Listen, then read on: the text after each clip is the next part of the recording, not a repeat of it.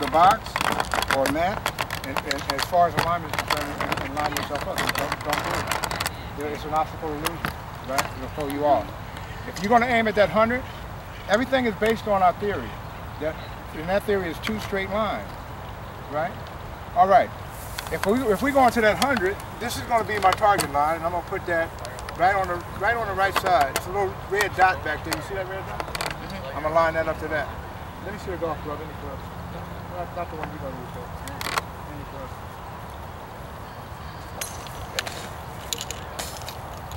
We got to need a alignment stick, man. right? So then I'm going to put this one here. Like this. That's our whole theory to everything that we do. Right? That's everything. You can't even do fundamentally correct stuff without that. Now, if you come back here, come back here, you guys, and you look down that line, right?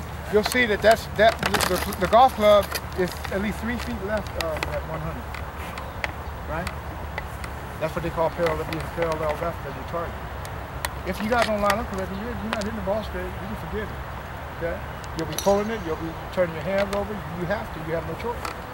Right? So here's what I want you guys to do from now on. And we're to practice this right now. Along with that hip turn, we're to practice this. I'm going to put this ball right there. Okay? From now on, you guys have three separate targets, not just one. Okay? What you're going to do is you're going to come back here and you're going to find your line. Right? You're going to draw an imaginary black line this thick from that target right down here through here. Right? So my ball's going to be right here.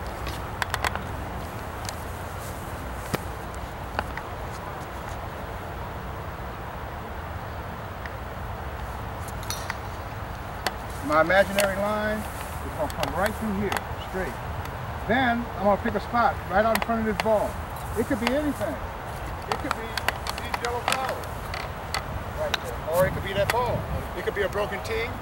It could be anything. That's my second target, right? My first target is that ball, right? My second target is going to be out there. Then you're going to walk into it, and you're going to pull your left foot back, and you're going to look this way. You never ever pick your head up to look. Always look down your target line. You look at your ball, you look at that target, you look at that target. And you say, you remember, I got a big black line. Then you square your club face to that big black line. It's coming right through all those targets, right? Then you set your feet up. Then you can hit your ball directly down that target. You fail to do that and you're done, okay? And you got to do it every time. It's got to become memory. Right, Tiffany? You're first, kid. Oh, ball. so now, first thing we're going to do, first thing we're going to do is we're going to come back here and we're going to look at our target. Come on back a little further and get right on your line. Okay, you see your line? Now draw a big black line right, right straight through your ball and straight through that, through that 100 yard mark. Now find your spot in front of that, on that line where you want to square your club face to.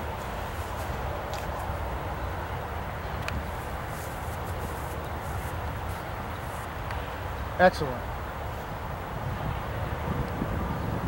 Now take your shot. Well, what do you know? Directly to my target. So I, what I saw earlier, Tiffany, you were struggling to get the ball to go where you wanted to because you weren't lined up correctly.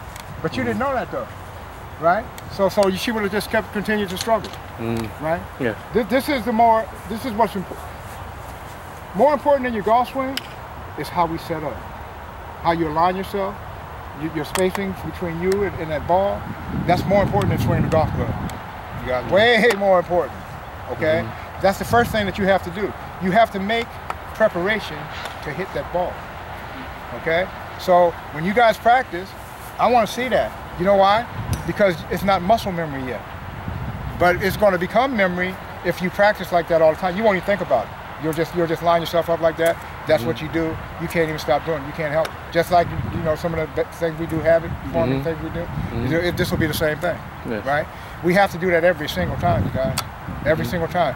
So for, for the rest of those balls, I want two clubs on the ground. I want you getting back. I want you finding your target line. I want you to step into it and hit your shot, right? All right. That's what it's gonna be. And her, and her line is too. so what you guys need to do, you need to get you a couple, you can go like to Kmart or, Mhm. or, or Lowe's Yeah. or somewhere. They sell for two bucks.